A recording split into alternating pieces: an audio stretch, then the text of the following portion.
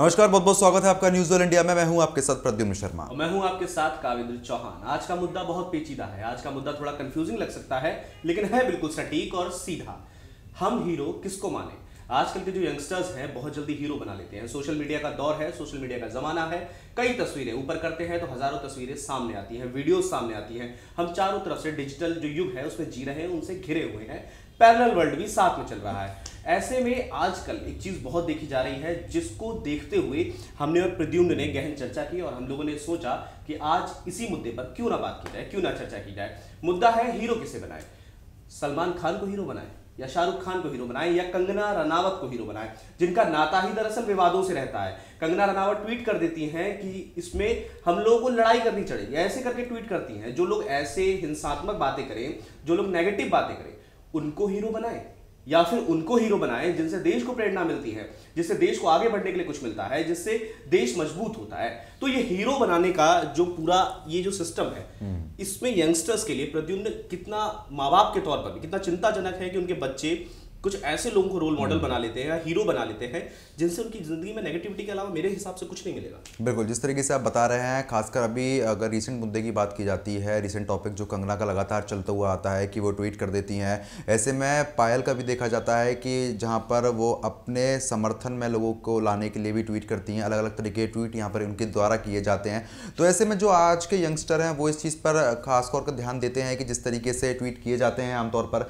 चाहे वो हिंसक हो या फिर अपने समर्थन में हो, जिस भी तरीके के किए जाते हैं तो कहीं ना कहीं दुष्प्रभाव तो यंगस्टर पर पड़ता है, क्योंकि अगर ऐसे लोगों को आप रोल मॉडल मानते हैं तो कहीं ना कहीं प्रभाव तो आपके दिमाग पर ज़रूर पड़ता है। सलमान खान की बात करते हैं, शाहरुख खान की बात करते हैं, ऐसे लोगों को हीरो बोला जाता है। लेकिन जो लोग सरहद पर रहते हैं आर्मी के जवान हैं, इतनी कठिन परिस्थितियों में वहाँ पर रहते हैं, ये भी नहीं पता कि दिन किस तरीके से होगा, रात किस तरीके की होगी, आगे आने वाली परिस्थिति क्या हो जाएगी। ऐसे में वो लोग इतनी जद्दोजहद करते हैं, क्यों? क्योंकि हमारे देश को सुरक्षित रखा जा सके लेकिन उन लोगों को कोई भी रोल मॉडल नहीं मानता है और उनके जैसा बनने की इच्छा भी कोई यहाँ पर इतनी ज़ाहिर नहीं करता है लेकिन हर किसी को सलमान खान बनना है शाहरुख खान बनना है क्योंकि उनके पास फेम है उनके पास पैसा है तो उस चीज़ से आजकल जो यंगस्टर है वो अट्रैक्ट हो जाते हैं लेकिन वो चीज़ ये भूल जाते हैं कि जो सरहद पर रहते हैं जो कायदे के और असलियत में हमारे हीरो हैं उनको यहाँ पर इज़्ज़त नहीं दी जाती है यकीन देखो बीते कुछ दिनों में हमने ये चीज़ें भी देखी हम्म। भारत में जनसंख्या दरअसल बहुत ज़्यादा है हम्म। और सोशल मीडिया के यूज़र्स भी उतने ही ज़्यादा है।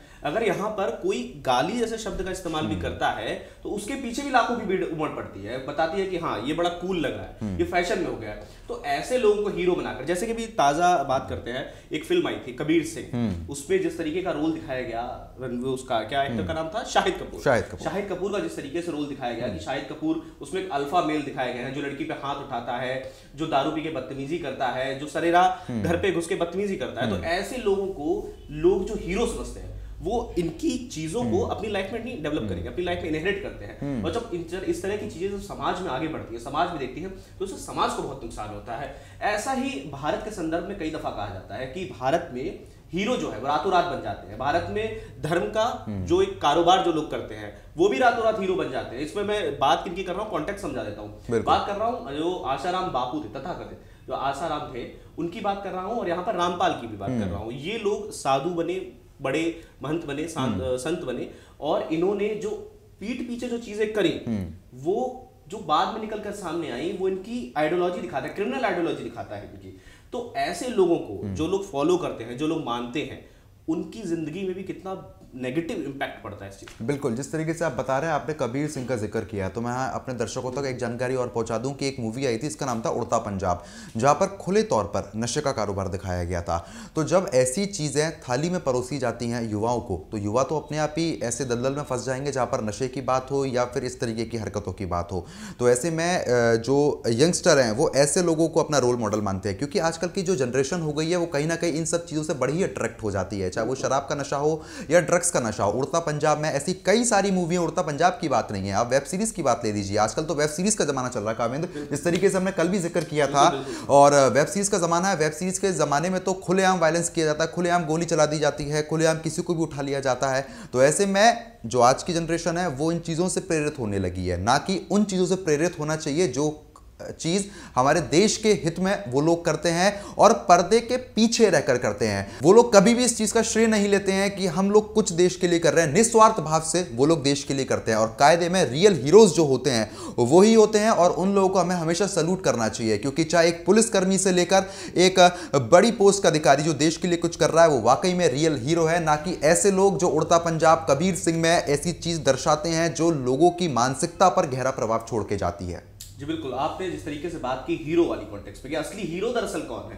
तो एक नाम का ज़िक्र आज बहुत ज़रूरी मेरे हिसाब से बनता है अजीत डोभाल जी का। अजीत डोभाल जी असली हीरो हैं। उन्होंने देश के लिए जो किया है वो हीरोइज्म है। हम्म। वो हीरो का काम होता है ना कि वो जो फलाने से ट्वीट कर देना फूहड़ सी बातें लिख देना वो हीरो नहीं हो सकते। वो अपना काम कर रहे हैं वो दरअसल एक जैसे हम लोग हैं हम लोग अपना काम कर रहे हैं हम लोग मीडिया के नाते अपना काम कर रहे हैं वो लोग एक्टर्स हैं वो लोग अपना काम कर रहे हैं। और कुछ लोग होते हैं जो गलत काम भी करते हैं दूसरे काम की आड़ में वो भी अलग चीज़ है। लेकिन यहाँ पर अगर हीरो की बात करें हीरो टर्म अगर किसी के लिए यूज़ होना चाहिए तो ऐसे लोगों के लिए होना चाहिए। जैसे जिनका जन्मदिन है अजीत डोभाल जी की बात की उन्होंने देश के लिए जो किया है हम्म। वो कितना अलग है कितना बड़ी चीज़ है वो।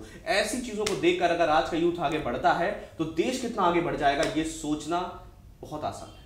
बिल्कुल, जिस तरीके से आपने ज़िक्र किया, अजीत डोभाल जी का आपने ज़िक्र किया तो ऐसे में सबसे बड़ी बात तो ये हो जाती है, पाकिस्तान में सात साल लाहौर में रहे, सबसे बड़ी बात तो ये हो जाती है कि एक एजेंट के तौर पर अगर आप किसी भी दूसरे मुल्क में जाते हैं तो अगर आप वहाँ पकड़े जाते हैं तो आपकी ज़िंदगी बचना नामुमकिन के बराबर हो जाता है। लेकिन उन्होंने इतनी बड़ी काबिलियत, इतने बड़े हौसले के साथ वहाँ पर गए और देश की सुरक्षा के लिए वो वहाँ पर गए थे और ऐसे अहम सुराग यहाँ की सुरक्षा एजेंसियों को उन्होंने पहुँचाए थे, जिससे कई बड़े हमले यहाँ पर रोके गए थे।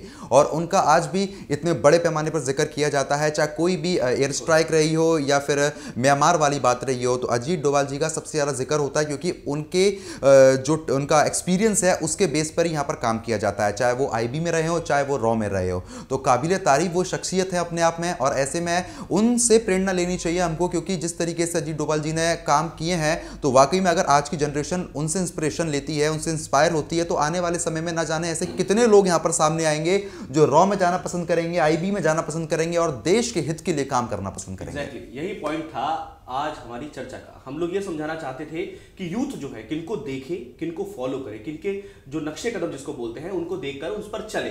क्योंकि अगर हम लोग गलत दिशा में जाते हैं तो हमारी ज़िंदगी में नेगेटिविटी के अलावा और कुछ नहीं आ सकता। अगर हम लोग ये सोचते हैं कि देखिए दरअसल प्रद्युम्न हुआ क्या है? हुआ ये है कि एक पैरल वर्ल्ड क्रिएट हो गया है। सोशल मीडिया के दौर में लोग कभी भी अपनी दुख की तस्वीरें नहीं डालते हम्म। सुख की चीज़ें साझा करते हैं। तो ऐसे ही एक्टर्स की ज़िंदगी में भी होता है। जो एक्टर्स होते हैं दरअसल आप जो देखते हैं कितनी ग्लैमरस लाइफ है कितना खुलकर जी रहे हैं और कितने खुश हैं वो लोग दरअसल उनकी ज़िंदगी में भी बहुत दुख होते हैं। लेकिन गलती कहाँ हो जाती है? गलती यहाँ हो जाती है कि जब उनको देखकर जो वो लोग बता रहे हैं जो लोग दिखा रहे हैं हम उनको देखकर सोचते हैं कि ऐसी ज़िंदगी हमें जीनी और अक्सर ऐसी चीज़ों में हम गलती कर बैठते हैं। इसलिए इसके लिए मैं एक वर्ड का यूज़ करना हम्म। चाहूँगा सुशांत सिंह राजपूत जो सुसाइड केस है उसको आप समझ लीजिए।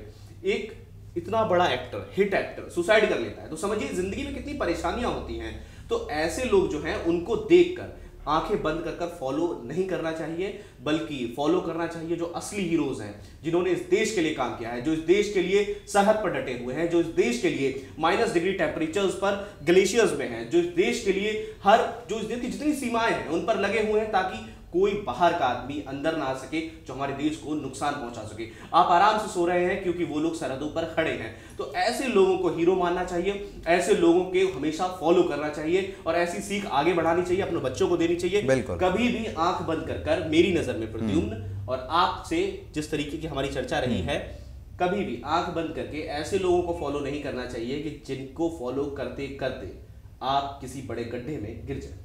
बिल्कुल जिस तरीके से मेरे सहयोगी ने आपसे बताया कि ऐसे लोगों को फॉलो नहीं करना चाहिए जहाँ पर आप चलते जा रहे हैं लेकिन आगे ये भरोसा नहीं है कि वो गड्ढा कितना गहरा हो सकता है। और अगर आप उस गड्ढे में फंस जाते हैं तो बाहर निकलना बहुत ही मुश्किल हो जाता है। तो देश के हित के लिए काम कीजिए देश के लिए सोचिए। ऐसे लोगों से इंस्पायर हुई है जो वाकई में काबिल हैं और देश के हित के लिए काम कर रहे हैं। फ़िलहाल के लिए इतना ही बने रहिए न्यूज़ ऑल इंडिया के साथ। नमस्कार।